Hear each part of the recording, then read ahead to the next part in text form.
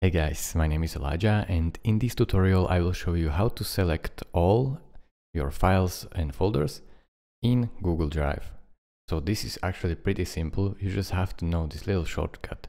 So I will go over to my drive and show you how it's done. There I have two folders and one image.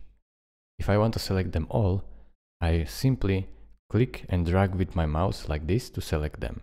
But what if you have a lot of files, like I mean hundreds? This would take like a really a lot of time and it would be pretty tricky, I guess. So this way you can unselect it and press Command A or Control A if you're on Windows. So I am on Mac, so I press Command A. And now as you can see, three items selected, it will select all of the files that you see right here. So thank you guys for watching. If this video was helpful to you, consider subscribing and liking this video and I will see you in the next tutorial. Bye bye.